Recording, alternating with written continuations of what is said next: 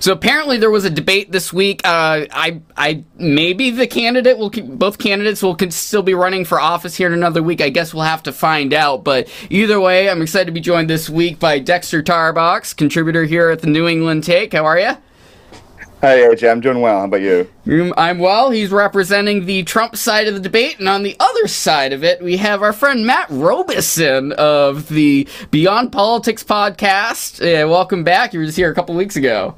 Oh, it's great to be back. Sorry, I had a mouthful of dog there, so um, I, I just yeah, uh, I've swallowed. I'm all good now. Oh, okay, we're all good. No, no choking on, on air. You can choke afterwards when I when I don't need to deal with editing. All right, so here's the deal. We're gonna do a debate of the debate. Essentially, is my goal here. So there. But I don't think either candidate did necessarily as, as good as everyone hoped overall. Um, I, I think we can all probably agree on that. But let, just just to start off with, I want each of you, starting with Matt, and then we'll go to Dexter, make like the the sixty second case that you think your respective candidate did at least fairly well and is not going to drop out of the race in the next I don't know three days or something yeah, look from a Democrat's perspective, it's obviously wonderful to not have a candidate that's going to drop out of the race in the next three weeks, let's say, coming out of a presidential debate. Kamala Harris didn't have to do a darn thing because Donald Trump was doing all the doing for her by descending into, I don't know, unrelenting drivel. It was it was insane. And honestly, um, you know, I wrote this up in Newsweek as a, it, for my Republican friends, among which I'm fortunate to count many. I'm surprised that they didn't kind of explode in in shame and anger. I mean, genuine anger. Like for the old school Republicans out there, what the heck is happening to my party? I would be thinking. Why is this escaped mental asylum lunatic leading the Republican Party? This is not the grand old party anymore, and it, it's it, it, it's sad. To, to quote to quote the great Don himself, it's sad um, it's it's depressing, I think, for a legacy that counts Ronald Reagan and Dwight Eisenhower and you know other reasonably good political leaders. It's sad. Now, Dexter, I wouldn't exactly call you the old Republican Party in any sense no. of the phrase. so you're you're definitely more of a new right MAGA guy, generally speaking. I, would say. So uh, make the case why you think your the Trump side did did oh, did well during the debate. Well, well, let me tell you, you know, uh, I'll admit that I'm surprised at the extent to which media pundits now have piled onto Trump, um, including yourself, AJ, uh, and what I would consider to be, at worst, a draw. Um, so, of course, yeah, while we all acknowledge that Trump missed some opportunities to put Harris on the defensive, to call her out, he didn't get lost in ad hominem attacks or digressions, as many of us were, were worried about. Um, while Harris herself, she didn't faceplant, she didn't indulge in the, the word salads that we're used to. Um, I do think she revealed herself to be what we've always known her to be, um, which is a snake. Uh, she zigs to the right on immigration in contrast to her own objectively true statements. I mean, she did, in fact, once actively support gender transition surgeries for detained migrants. Uh, then she brags about her endorsements from Dick Cheney and other members of the Bush administration and this Republican old guard, who the left has long decried as war criminals. So clearly she's willing to move in any direction she can. And then, of course, when you confront her with direct questions, um, um, for example, on why the Biden Harris administration has kept the Trump tariffs in place. Um, she refuses to even attempt at answering that question. She refuses an attempt to explain why most voters feel that they were better off under the Trump administration than they are now economically. Um, um, in all points, she she offered a load of nothing. And while she carried herself well, um, I, I am hesitant to call that a victory on her part simply for exceeding the already low expectations she was met with. So I'm going to stick with you uh, for this, Dexter, to start off with. So uh, the big, one of the big reasons why I changed my mind on exactly how well Trump during the, did during the debate is it didn't click with me till afterwards. Like he literally took the bait every single time something was brought up, and instead of being able to say, "Harris, hey, you're screw up. You're, you've done terrible for almost four years now in office because guess what? You're one of the, part of the incumbent presidency. He was just chasing his own tail the entire time. Would you say that's a fair argument? I don't know if he was chasing his tail the entire time. I think he hit her well on policy points on a number of important occasions. But I have to say, all this talk about baiting, uh, and I put it in quotes, um, seems to ignore or to me conceal um, the central fact that Harris is the one who dodged policy questions by making it personal. You know, yes, he may have taken the bait on crowd size or on his inheritance, but it was Harris who raised those issues to avoid taking on her otherwise indefensible positions and record. Um, and so I'm just confused as by what kind of double standard does her repeatedly going low and being petty make Trump the villain? Can I can I do something counterintuitive here and kind of agree with Dexter? Um, boy, this is going to just kill your whole debate vibe, AJ. I'm sorry. I apologize to you. I apologize to the viewers and the listeners. But uh, Dexter, I actually think you're right. I think that if we were objectively, you know, over a beer, which I think the three of us would enjoy together, if we were trying to grade the debate performance, we would probably say, yeah, Kamala Harris was a far better debater. She jabbed, she pivoted, she baited him, she got him off message. What are we doing here? Like, why do we care as voters that she has more skill at this abstruse, like performance art that we do in America of presidential debates. I don't care. This does nothing for my kids. Um, this does nothing for my understanding as a voter of what her plans would be for the future. Um, I don't think we should be evaluating her or the debate or either of them as candidates on their debate performance. Where I think Dexter will stop nodding, unfortunately, um, and I'm sorry for this, man, uh, is that I think that the jabs that she threw were very real and they were very full of proof and they were very legitimate.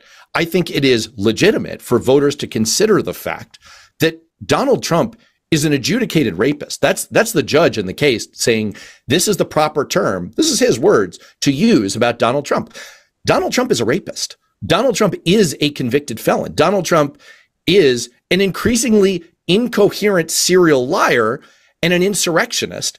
And if you don't like all of that, which I imagine a lot of people don't, just stick to policy. Just look at his 20% tariff plan, which I had Mitt Romney's budget director on my show to talk about. And we ran through from a conservative economist perspective. He works for the Manhattan Institute. It, it doesn't get much more right wing than that. And he thinks that this is an absolute economic atom bomb that would be dropped on the middle class. This is an incoherent and destructive economic plan that he has as the centerpiece of his whole plan for the future. That is the basis on which we should be judging the candidate. So I'll just circle back and I'll I'll I'll say that I would have loved as kind of a detail oriented wonky guy to hear more about policies and plans from both candidates. I would have appreciated that. But I don't discount what Kamala Harris brought forward. And I think the voters of this country should be judging on the fact that you have someone who is incoherent, mentally unbalanced, unable to put together a, a, a functioning word sentence um, that connects to its to itself. We just drummed the current president off of the ticket for that exact same problem. The same thing should apply to Donald Trump. And that is a legitimate basis. Forget the debate, forget the performance art. That is a legitimate basis on which to judge these candidates. Go ahead, Dexter, before we uh, dive into maybe some more debate. Yeah, that was a lot. Discussion a lot. there. Yeah, yeah. Well, no, no. I, I think that's the, we can get into the policy discussion, but I think just taking it briefly back to the idea of the debate of this sort of performance art that we we did all nationally engage. I think there were 68 million people watching. It turned out. Um, I mean, in in your own piece yesterday for Newsweek, um, you you referenced a quote that said Trump's debate performance against Clinton left the Trump campaign in ruins. I mean, evidently not. Uh, he succeeded. And Harris actually did implode after her debate performance when she sought the presidency in 2020. And while Trump managed also to effectively oust Biden from his own campaign after the first debate. So I don't think that we can go around and say that debates mean nothing um, when we have at least these three good examples.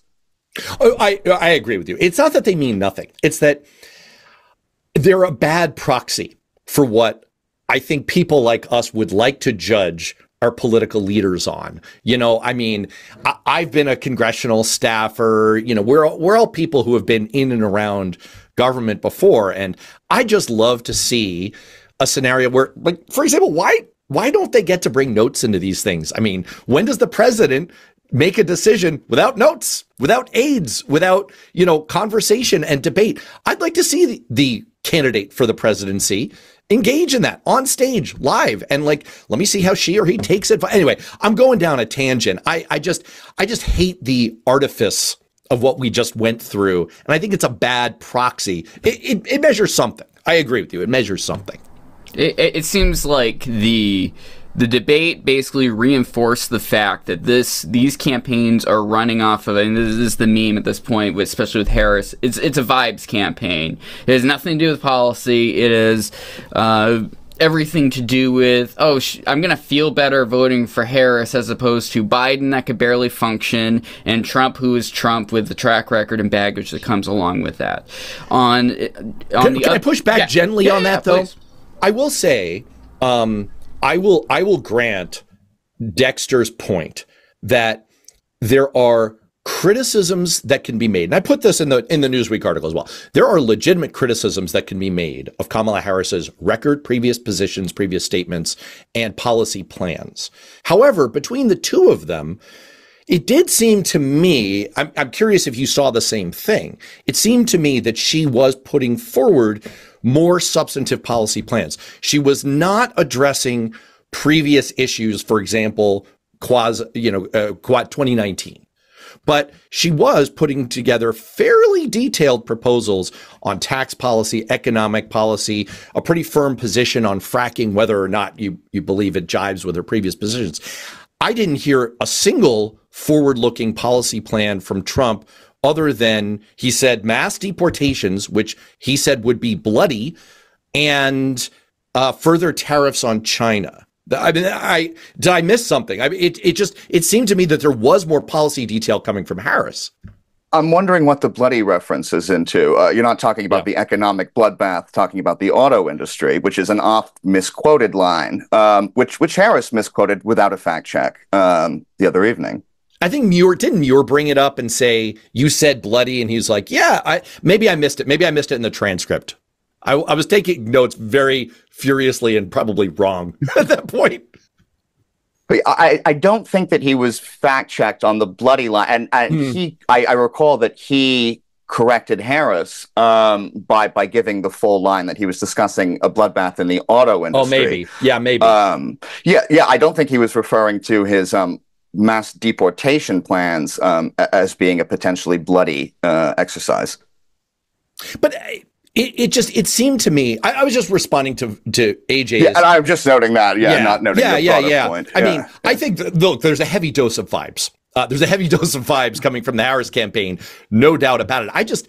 I, I thought that that she was relatively substantive. I mean, if anything, as a kind of um, as I was sipping my what what am I supposed to do as a liberal? As, as I was sipping my Merlot and, and munching on arugula. Your your uh, white your chilled white wine. Your yes that's right. Um, I was uh, you know I was I put my feet up on my Tesla and I was watching the first answer and I'm like dude why are you listing all your policy plans? Thank you Hillary. Like I wasn't I wasn't that into that.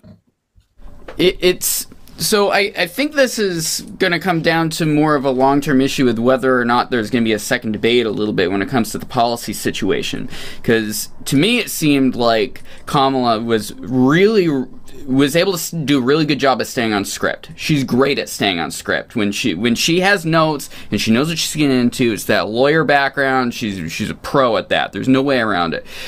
I don't think you can hold that up for multiple debates. I think eventually she's gonna hit a wall and she's gonna have to answer Trump. Trump can keep his act together, I think, for at least one debate. If they can have multiple, I mean, they're great. I think he can at least get it figured out for one debate where he can stay on task and stay on the attack of Kamala and make sure that she's going to have to address actual issues more in depth. I don't think she will have that ability. Uh, I don't know who wants to jump into that theory. No, but let me I've say that I don't think she addressed. Yeah. No, go, and I'll be brief even, but let me just say that my initial reaction to it was more that Trump won on policy and Kamala Harris won on delivery. Um, because especially when we look at um, the record we have of policy proposals from Kamala Harris, it's extremely scarce. Um, she she just recently posted something on her website, much of which it seems was taken from the Biden website. Um, prior to that, she had given all but one scripted interview with her vice presidential candidate. Uh, and otherwise, we really didn't have a lot of positive um, policy assertions from her. So I'm not surprised that people on the left are happy with what they got because it was better than the nothing they had before.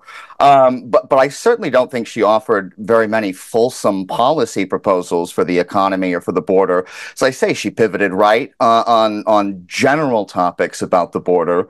Um, I, I, don't think she articulated. Um, and again, these are some of the highest ranking issues uh, in terms of what voters are concerned about. But on economy on the border, I didn't hear enough from her that would justify the silence we've had since her her anointing.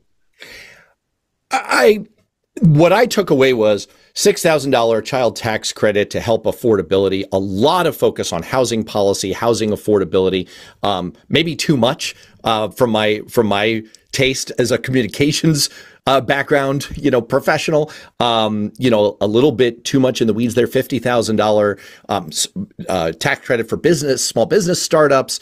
Um, you know, pretty firm position on fracking, which is consistent with the position she's had um, during the Biden administration. Now, look, I'll I'll go with you on. I would have loved her to fill in a little bit of a gap for me right? If the last thing I remembered about her was her being against fracking in 2019 and now she's pro, okay, just fill in the gap. And it is cool. It is fine to say, you know what?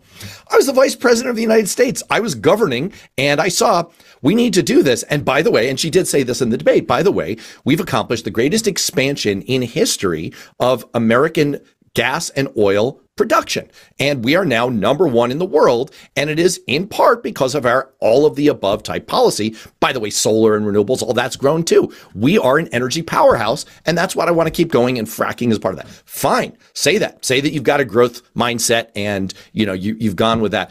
I, I can nitpick that. But in general, yeah. You know, but I what's the, the explanation policy, yeah. for the conversion? The fundamental conversion she had over her convictions about its impact on the environment.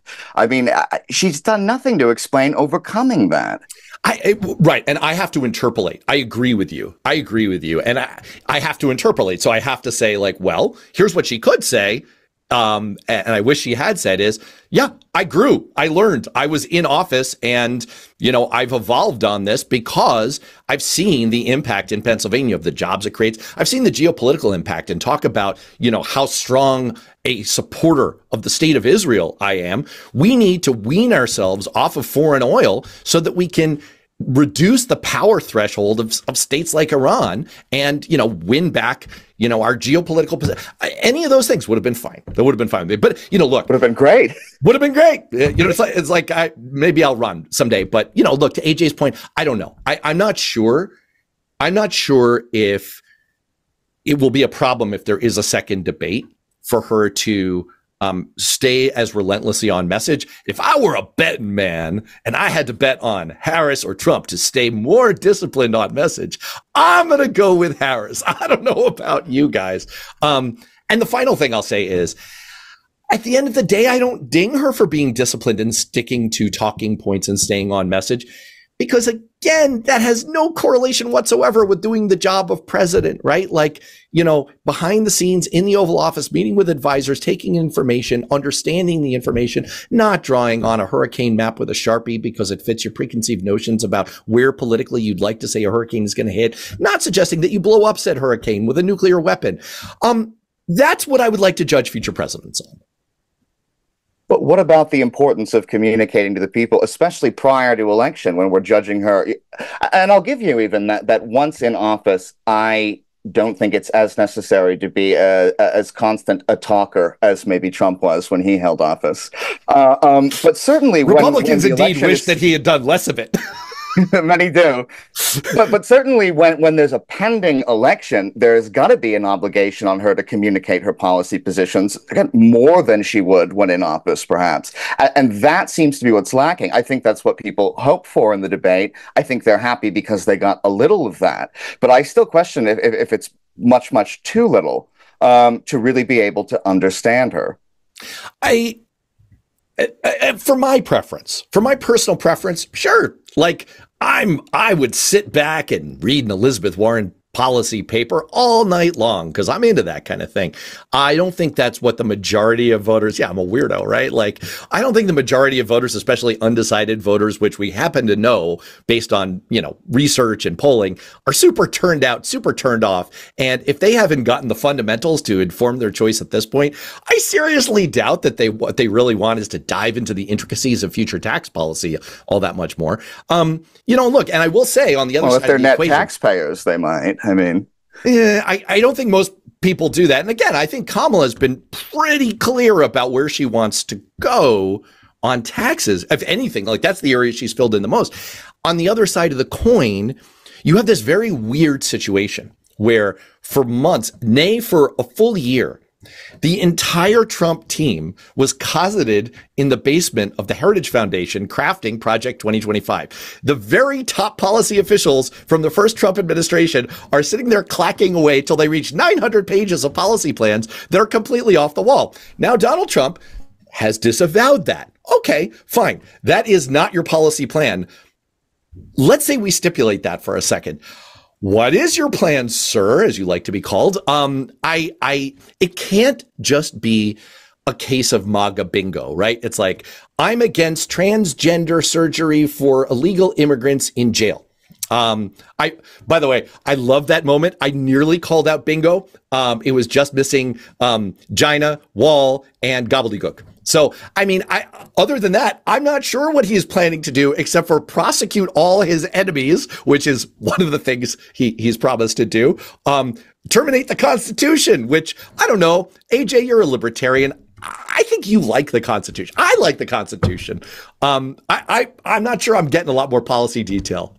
All right, Dexter, I'm gonna let let you respond. Then we got to wrap. Sorry, I said no, no. I, I know. No, it was a I'm not great rant. No, no, no. yeah. It was good. It was good. You know, I, I was, uh, yeah, I was very taken by it. Uh, l- let me say that in the case of Trump, uh, as opposed to Kamala Harris, um, we actually have a record of what he does in terms of policy because he was the president for four years. Which, according to the polls, many people still um, consider very highly. Uh, many of the policies that he enacted, be it economic policies, border policies, his judicial appointments, and so on. You mentioned um, whether or not this would move by better informing independent voters. Well, we do actually have some numbers coming out of this last debate on that. And in fact, it, it moved them, if anything, slightly in favor of Trump. Um, so it would almost seem that they were more educated on Trump's policy positions, even though we have four years to look back on, as as they were to Ham, uh, Kamala, who, who did not seem to me to articulate much in the ter- uh, in the way of substance.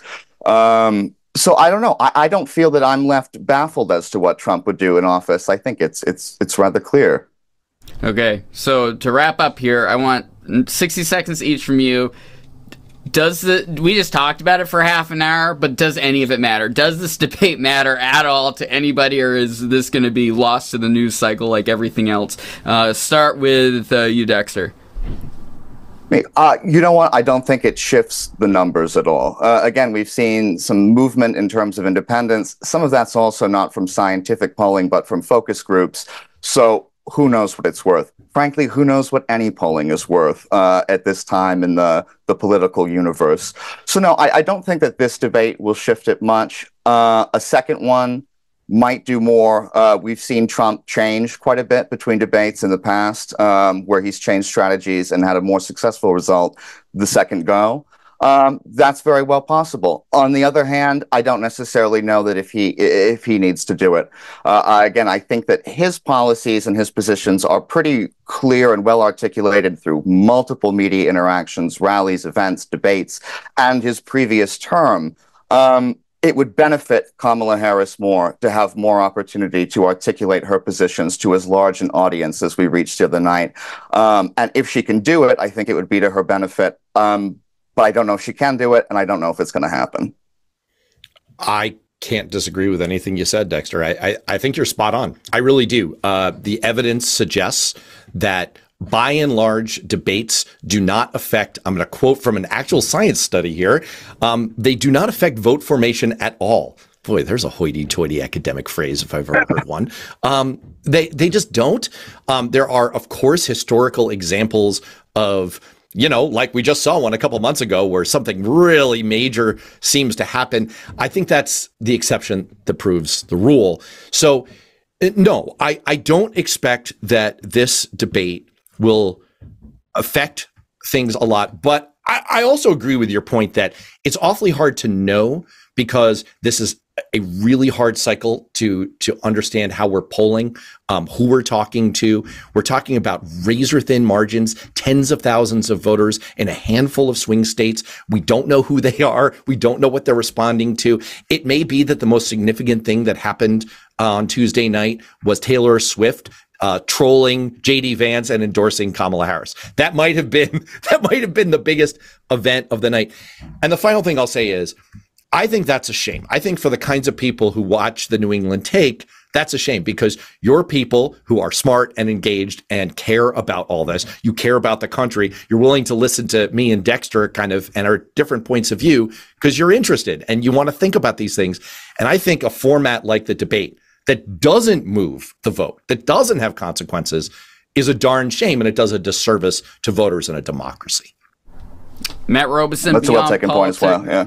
Yeah. Matt Robison, Beyond Politics. Thanks so much for joining today. My pleasure. And I'll put links in the episode description to the Beyond Politics podcast and the Newsweek article that uh, Matt published a couple days ago. And Dexter Tarbox, contributor here at the uh, show. Welcome back. Thank you for uh, coming back. Thanks a lot. It was a lot of fun. All right, I'll link uh, Dexter's X account in the link below. I'll uh, put, if I remember, I'll put in the episode description if I don't know why you care, but I'll put my my opinion pieces I did with, with WKXL and WDEV. Uh, was on those two stations this week talking about the debate with Ross Connolly and Ken Kale. So uh, some different opinions. Maybe go check that out. All right, NewEnglandTake.com. Like and subscribe. Talk to you soon.